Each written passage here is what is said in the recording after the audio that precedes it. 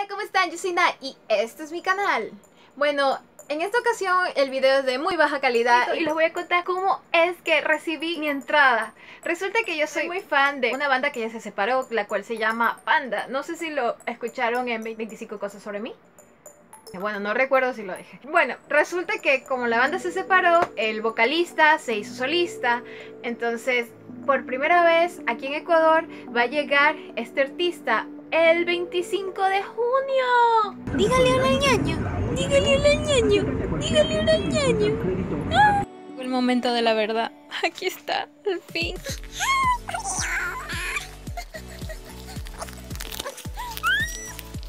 ¿Cómo diablos lo hago con todo con una sola mano? Ya fue, rompamos el sobre.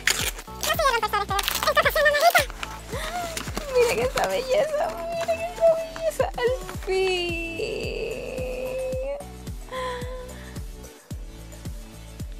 Ya está. Miren esta belleza. Al fin tengo mi entrada. Costó 30 dólares.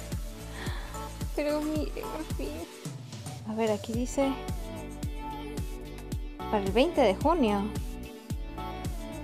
Mmm, para el 25. Dice, canjea tu preventa a partir de... Tengo que irla a canjear. Oh my god. Bueno, no importa. Aquí está mi entrada. Una emoción gigante. Voy a poder ir al concierto de José Madero. Es mi cantante favorito. No tienen idea de todo lo que tuve que pasar para poder tener esto. Porque justo en estos momentos, bueno, como saben algunos, en diciembre en mi país, Ecuador, se va a presentar Bruno Mars. Y cuando yo fui a comprar esta entrada, era una cola kilométrica. Y entonces la mejor opción que pude optar, aunque no tengo tarjeta de crédito, mi hermano por suerte sí, eh, fue comprarla por internet. Así que dije, bueno, va a ser por internet. Todo va a estar mucho más fácil.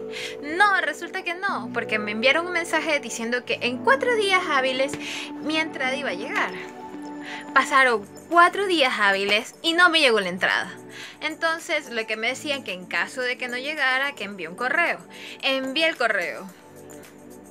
No me respondieron. Y luego vino feriado y me fui de paseo y como que dije, ya no me va a llegar mi entrada. Y entonces, yo lo que quería antes de irme del paseo es ir a a preguntar qué pasó con mi entrada al lugar, porque esta vez ya no iba a comprar, sino iba a reclamar. Obviamente me tenía que atender enseguida. Ah, mi papá no me quiso llevar. mejor dicho, pasaron muchas cosas y no pude ir. Entonces me fui de viaje. Mi hermano, el que me dio la tarjeta de crédito, él me dijo, mira, yo puedo llamar por ti, porque yo le dije que yo envié un correo y él me dijo, no te preocupes, yo llamo por ti. Él llamó por mí y lo que le dijeron que envió un correo. Lo que yo ya había hecho. Entonces, ellos me después de haber hecho esa llamada, ellos me responden, me responden diciendo que, en, que ya habían enviado la entrada el 24. O sea, eso es en Guayaquil y yo vivo en Daule. No es como que, wow, tiene que demorarse 5 días para llegar. No, eso podía llegar al día siguiente y no me llegó el día siguiente. No. Bueno, entonces yo les respondí que no me había llegado y les pregunté qué es lo que tenía que hacer, cuál es el paso siguiente que tenía que realizar para que me llegue la entrada. No me respondieron.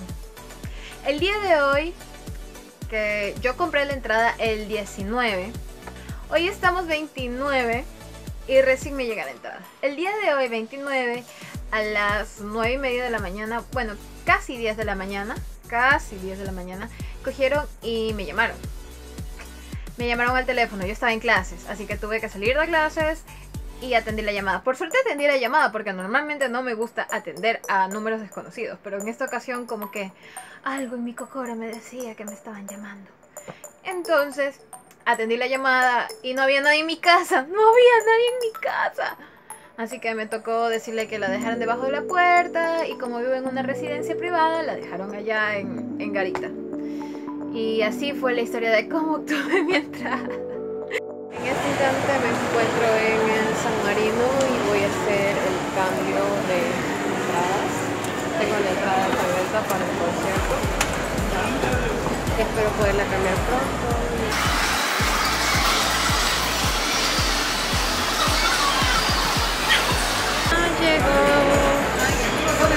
Por suerte no hay cola esta vez.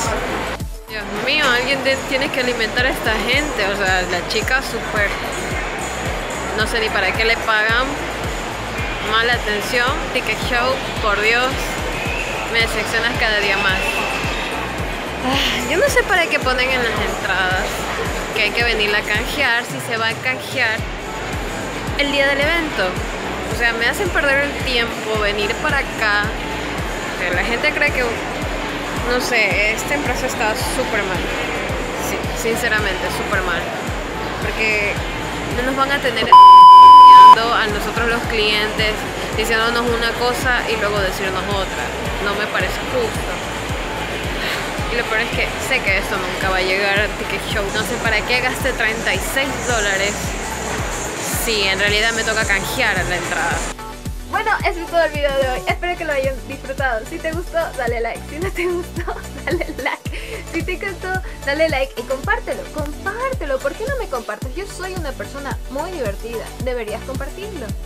Si tienes alguna idea de lo que quieres ver en futuros videos, por favor, deja en la cajita de los comentarios. Mis redes sociales te las dejo en la cajita de información o aquí abajo. Em, eso es todo. Espero que Disculpen mi story time, pero tenía que contarlo.